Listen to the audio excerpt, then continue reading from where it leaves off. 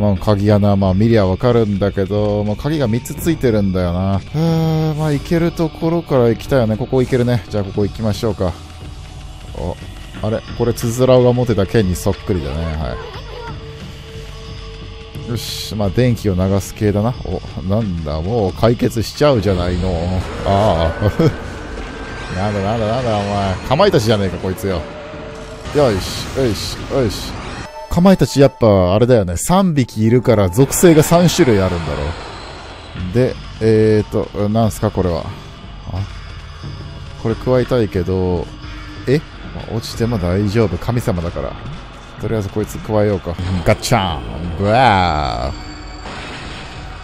ーさあ、奥へ。鬼ヶ島室内1階とか書いてあったけど、よし、よし。何階まであるんでしょうね。牛の角。この牛の角超いっぱいあるよね、俺今。早飛び丸。どうです？ちょっと足と競争してみやせんか？何？向こうに見える出口門にどっちが早く着くか簡単な勝負。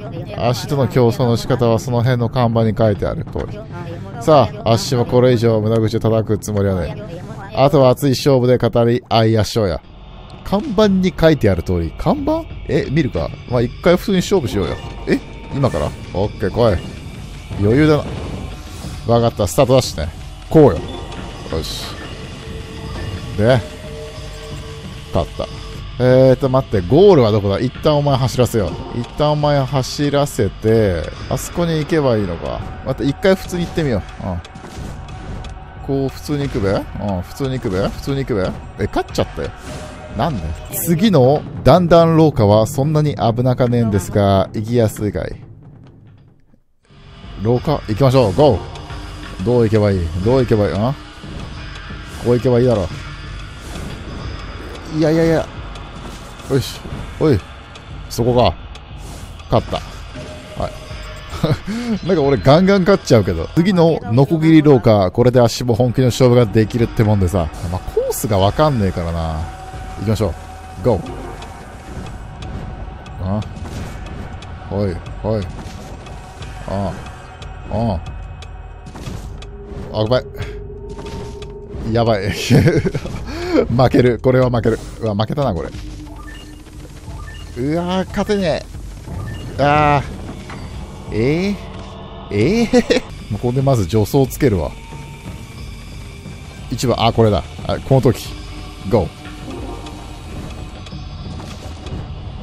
うわ、最悪。うわ、負けたな、これ。ああ、ほう、ほう。いや、いけるか？勝てるか？もうワンギア入れろアマテラスよっしゃ、勝った さあ、極輪廊下、張り切っていきましょうか。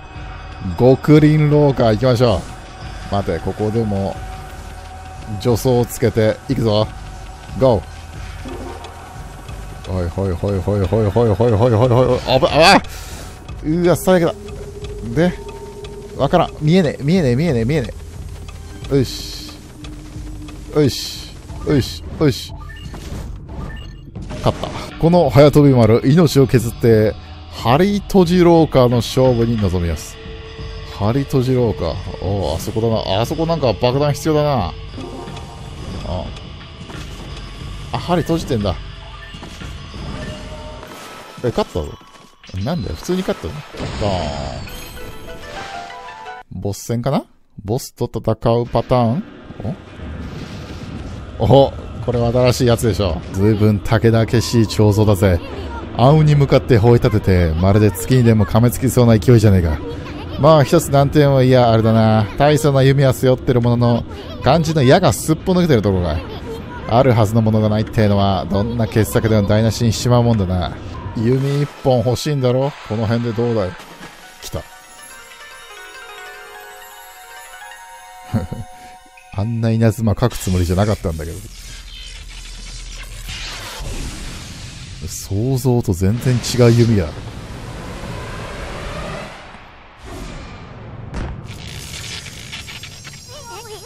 すげえ。彫像の矢が暗を吹き飛ばした。来た来た来た来た来ためっちゃ星あるな。何座やねん、これ。お、来ましたね。おお、強そう。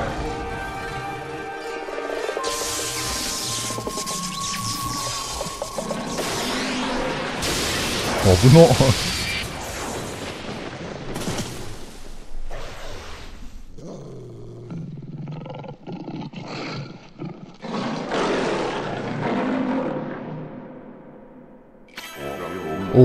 我らが自分アマテラス狼。いやー、強そうな神様やっと来たね。妖怪どもがばっこしたらこの城に封じられし我が身なれど、おもとの通力で我が目ようやく光を宿すことかない。おもとと共に修羅の道歩むとあればこの激神。言葉知るイカズの力を持って主の恩前に一条の光を捧げて、例えばつらん。いやー、強そうな神様味方になってくれましたね。もうあの鳥以来だよ、本当に。猫が一番ふざけてた。ついに来たじゃねえか、12番目の分身、激神。稲妻を自在愛する凶暴な筆技、人雷の筆神様。あまこ、それがお前の筆技だったんなら、見事使いこなしてみな。任せな。はい、雷が来たら、こいつに繋げると。この新しい筆技で城の頂上を目指そうじゃねえか。しかしあまこ、チリチリに分かれた筆技もこれでもうあと一つ。そいつが手に入りゃ、おいらも、すべての技を目に焼き付けたことになる。そこまでもうあと少しだな。おっと、無駄口叩いてる暇があったら先急がねえとな。さあ行こうぜ、アマコ。お別れが近いってことかな激神の極意。残る筆技はあと一つってことは、あれか、やっぱりお別れが近いんだろうね。一寸とアマテラスの。まあ、この狼はね、最後の最後結構感動するんだよね。もうガスパ4周目だからさ、もう全部わかってるんだけど。したか？いや、怖っ。はい、じゃあ、それじゃあ、この中央、行ってみましょう。うわ、なんだっけ、これ？雷神？こいつをここにビリビリってやったら、ここの辺のからくりが動くんじゃん、きっと。ああ。ぶっ壊した。全然もう予想より斜め上行ったわ、本当に。じゃあ、この地下だな。行きましょう。で、あ、横スクロールだ。嬉しい。回復できた。ん？え？このからくりを動かしつつ、こう横に行くんだね。ああ、いいね、この視点。あ、すごい。ちょっとなんか楽しい、こっちの方が。あれよし。あ、鍵必要ですね。あの鍵を取るには、あ、この猫うまく使わなきゃダメだね。はい。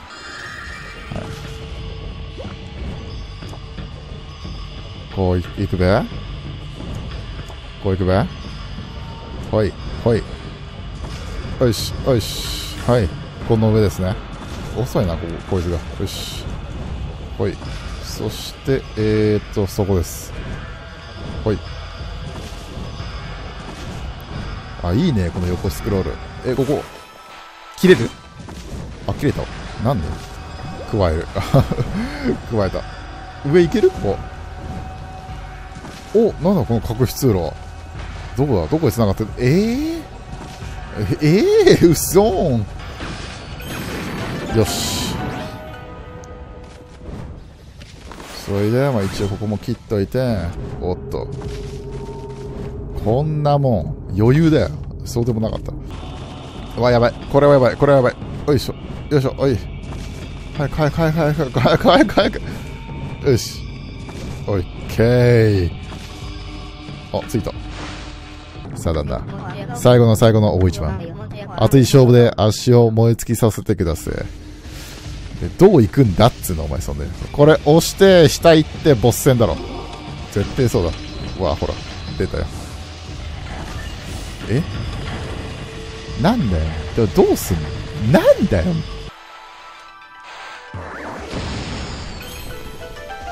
はっはっはっはっは。そういうことかよ、余裕じゃねえか。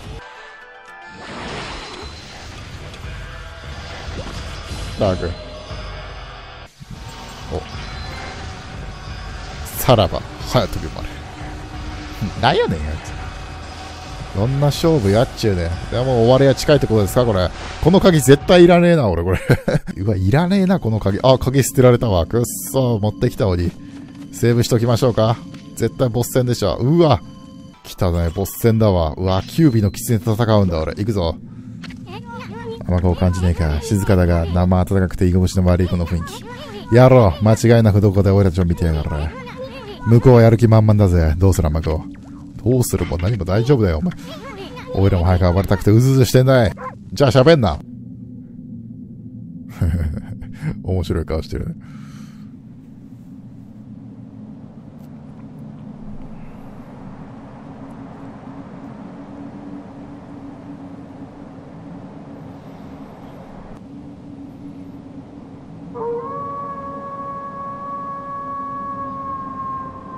どうしたアマテラス来た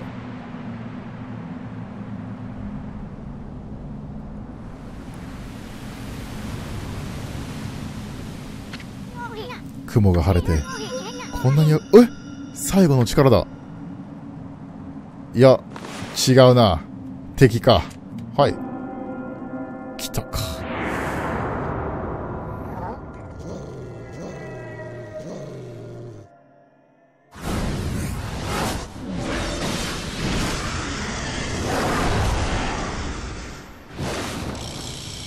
キュービー。血まなこになって駆けずり回ってドブネズミのように我が城を逃がしば忍び込んだかアマテラスこのキュービ闇の国の君主常闇のスメラギより力を授かり両島原の領主を仰せ使った。わざわざここまで来なくとも貴様のような邪魔者。いずれ人間もろとも食い殺してやったんだあの女王卑弥呼のようにな。闇の国、常闇のスラメギ。それは一体何のことだい？大体漁師マハラの漁師なんて俺ら許した覚えはねえ。常闇のスメラギ、それは我ら妖魔の絶対的主君。この世に二つとはありえぬポコンドッポの闇の象徴なのに。カビの生えた昔話にすがって神を称える野良畜生とはわけが違うわ。いそうに化けたりこんなまがいものの舞台用意したり、嘘っぱちのイカ様やろうはてめえの方じゃねえか今度こそてめえのバカの皮ひびがしてやるぜ。どちらが本物か神の力のはるかに凌駕する我が妖力。ここで存分に味わえばいい。さあ戦おう。おおサムネかこれ。うおでっけえ。でっけえ。スパンいけないか？行くわけねえか。まあ効かないよな。ここにも火あるし火でスパンできるんじゃ何？俺が筆技をやろうとするとあいつがほら妨害してくるわ。あダメにしてくれるんだ。これは？くそ。効かねえな。おおおおおおなんだなんだ。風。はい。さあさあさあ。よし。おっとそれが来たら稲妻でしょ。はい。おい。それが来たら稲妻どこ行った？どこ行った？あれ？なんだ？なんだ？つづらがいっぱい出てきた。つづらがいっぱい出てきた。あよしよしよしよし。もうまとめてズバンいけるねえかおっしゃどうや俺。めちゃくちゃ切ったぞ。12345本しかなかった。4体殺したんだ。よっしゃ。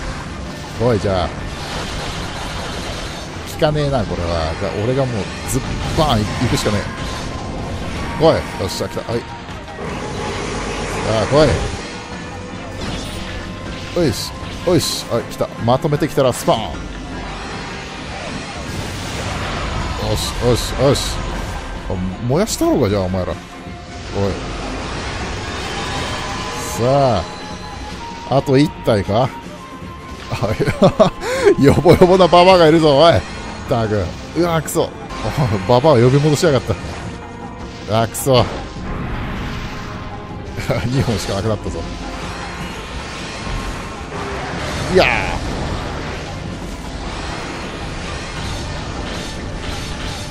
いや全く効かねえ。全く効かねえ。よしほい。さあ来い。どこだどこだどこだ。あそこだ。ダッシュ。このババ このババアを切る。さあ。おらくたばる。よっしゃ。であとはお前だ。ラスト。あこれが本体か？お おこれが本体やね。あ早いし。危な。オッケーため切り。よしよしよし。この火効かね？あ火効かねえな。どうだどうだ？オッケーこの弱ってるとこね。火やって。おっしゃ。はい。勝った。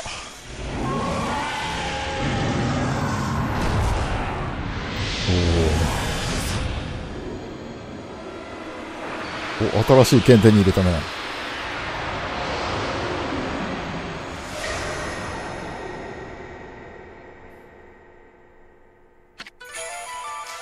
草薙の剣を手に入れた。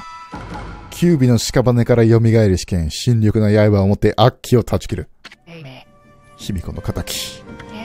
アマテラスは執念で大妖怪キュービを討ち取った。大きな獣に姿を変えて横たわるキュービの正体、それは邪気を募らせて妖怪となった古狐じゃった。ともかく、主を失った鬼ヶ島は音を立てて崩れ、死者への手向けのように花となって大海原へ散っていった。そして海神水流に変化した竜神族の長、乙姫も、その役目を終えて無事竜宮へと帰っていったのじゃった。じゃが、キュービから外れた奇怪な面を、宙でたちまち真っ暗な容器に姿を変える。そこには退治したばかりのキュービの音量に加え、キュービに己の力を捧げた妖刀、金釘の音量の姿もあった。二つの音量は絡み合うように空中でうねり、遥か北方の地へと飛び去っていった。オロチの体から現れ入れた音量は全部で4つ。キュービたちの音量は残る仲間のもとへ向かったのじゃろうか。それとも、キュービが残した今はの言葉、闇の国の君主、常闇のスメラギ。そのまがまがしい名前の示すものが北方にあるのじゃろうか。押し寄せる闇の気配にアマテラスは武者震いを禁じ得ないのじゃった。そしてアマテラスと旅を続けてきた小さな妖精、一寸も、一寸、渋いな、おやそ。その心に変化をきたしておった。すべての筆技を目に焼き付けたら旅は終わりと言ってはばからない一切。残る筆技をあと一つに残した今、なぜか顔を曇らすのじゃった。とにもかくにも二人が目指すは極寒の地で待つ次なる妖魔。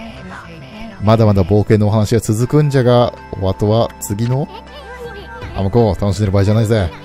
キュービを倒したところで、卑弥呼の矢帰ってきやしねえけど、一丁、弔いの雄たけびでその魂を送るじゃねえか。